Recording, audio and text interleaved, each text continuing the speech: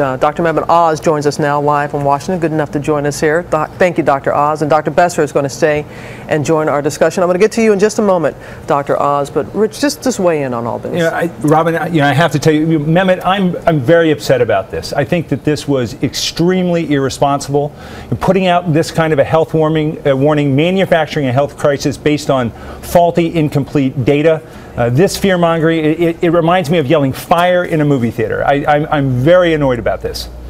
And Dr. Oz, do, do you stand by your results? And how do you respond to what Rich just said? Absolutely. I, I'm not fear mongering. We did our homework on this, Rich, and you know we spent a lot of time making sure we got our numbers right. Let me just go through this real quickly. Uh, we had uh, some concerns about arsenic in apple juice, not because we thought about it, but other groups, independent of ours, over the last three years have been publishing reports about this. Uh, I have to call into question some of the assumptions that you're making. First off, uh, you claim that most of the arsenic in apple juice is of the organic type. Uh, th- that is not true.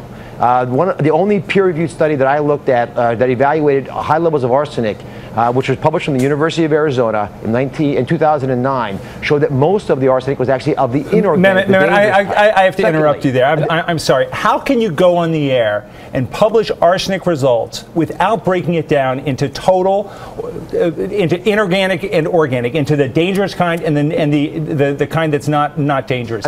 Any food lab Rich, that does I'll- testing I'll- does total first and then looks to see is it harmful. How can you tell people that this is harmful without even doing those tests?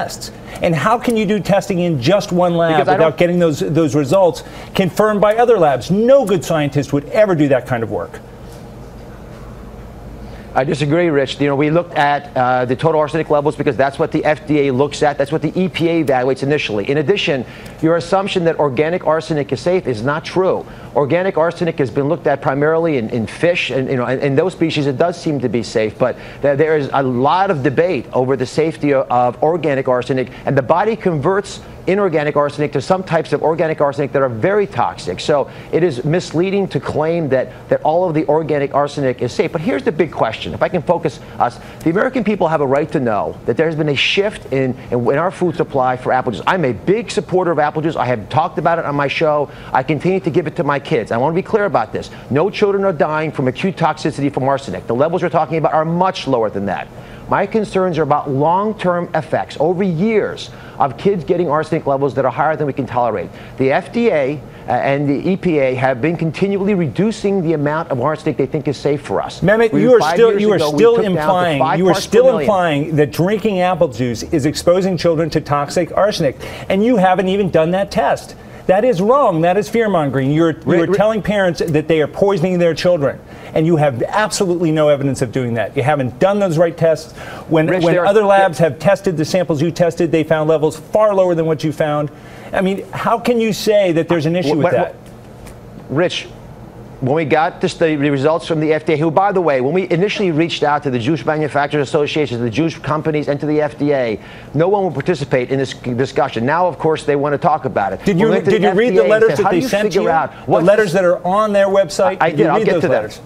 What, what, what, all, those letters are on our website. We publish the entire dialogue so everyone can audit it on their own. But let me just com- complete the sentence.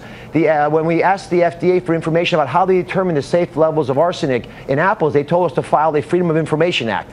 We went on and did our own analysis. When we got the data from the FDA arguing that our numbers were erroneous, we retested the samples. Got In the same results. laboratory. Then, In the same back again- laboratory you've been using. No, in the same lab. Then, then we had a separate group.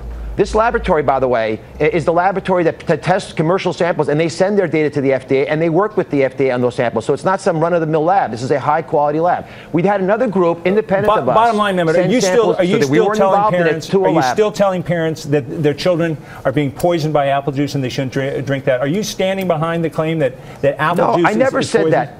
I, Rich, I, I never said that. What I said was we, the American public, has a right to know there are concerns because 60% of the apples in our apple juice come from overseas. We took great care in this country to ban arsenic and, and pesticides so we would protect our people. Now we're getting apples from other countries where they don't have those rules, where arsenic levels could be much higher. We had enough samples to show, to raise concern. And again, again, it's not just us. Three other groups had the same types of results. We just want to have the conversation. And we have been trying to make this conversation happen. The, we, the folks that we're talking to, both you and I, deserve of clarity on this issue.